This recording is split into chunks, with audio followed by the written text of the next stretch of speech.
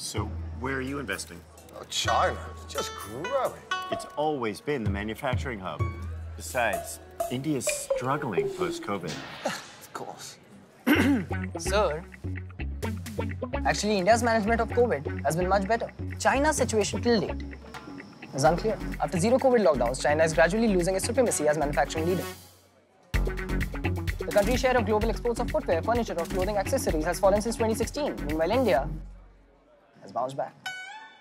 So by the looks of it, India could become the global manufacturing hub by 2030.